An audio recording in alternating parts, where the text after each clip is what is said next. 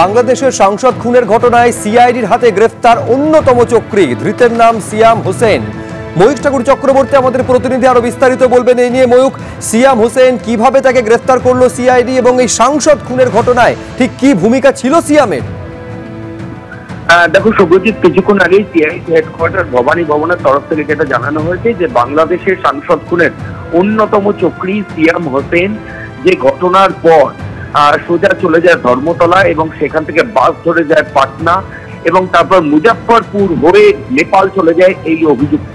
Mobile ফোনের tower location বিভিন্ন সূত্র সিআইডির হাতে ছিল এবং তারপর সিআইডি অফিসিয়ালসরা নেপাল পুলিশের সঙ্গে যোগাযোগ করছিলেন।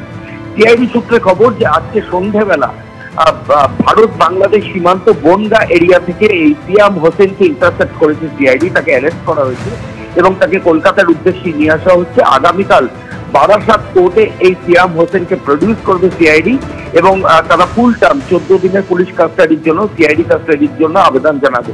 সিয়াম হোসেনের রোল হিসেবে সিআইডি আধিকারিক যেটা বলছেন যে এই অভিযুক্ত গোটা ঘটনার অন্যতম চক্রী। কারণ গোটা ঘটনার যাবতীয় লজিস্টিক অ্যারেঞ্জমেন্ট যা যা ছিল এবং খুনে ব্যবহৃত যে শার্প কাট ওয়েপেন ধারালো অস্ত্র ব্যবহার করা হয়েছে, এই সমস্ত জিনিস কেনা এবং বডি পার্ট সেগুলো ডাম্প করার জন্য যে ট্রলি ব্যাগ প্রয়োজন অর্থাৎ বাংলাদেশের সাংসদ খুনের ঘটনায় অন্যতম চক্রী যিনি তাকেই গ্রেফতার করল সিআইডি। ধন্যবাদ ময়ূক তোমাকে।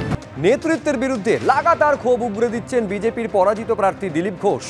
জেতা সিট হারাবার জন্য ষড়যন্ত্র করা হয়েছে বলে মন্তব্য দিলীপ ঘোষের।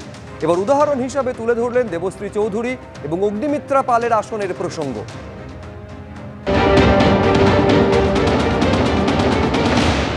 পরাজয় তো শুধু এক জায়গায় হয়নি, একটা সিট বা একটা রাজ্যে হয়নি, পুরো দেশে হয়েছে। এটা তো কেন্দ্রীয়ভাবে, রাজ্যভাবে অবশ্যই পর্যালোচনা হওয়া উচিত।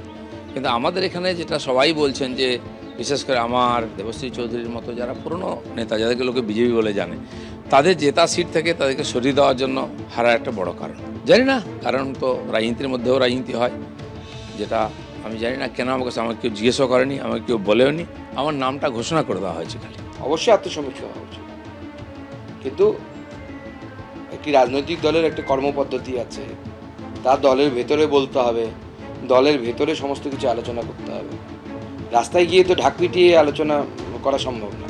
টিকিট ঠিক করে সংসদীয় বোর্ড, সংসদীয় বোর্ডের আপনি যদি তার সিদ্ধান্তকে চ্যালেঞ্জ করেন বা তার সিদ্ধান্ত নিয়ে যদি আপনার কোনো ডাউট থাকে, আমার মনে হয় এ বিষয়ে আমাদের কেন্দ্রীয় নেতৃত্বের সাথে সেই সমস্ত লোকের কথা বলা উচিত।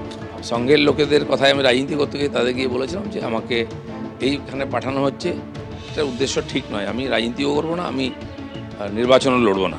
সঙ্গের লোকেরা বলছেন না আপনি না থাকলে পার্টিটার কী হবে? তো আমি এখন বুঝতে পারছি আমি থেকেও পার্টির কী হচ্ছে। এই বিষয়ে যা বলো কেন্দ্রীয় নেতৃত্ব।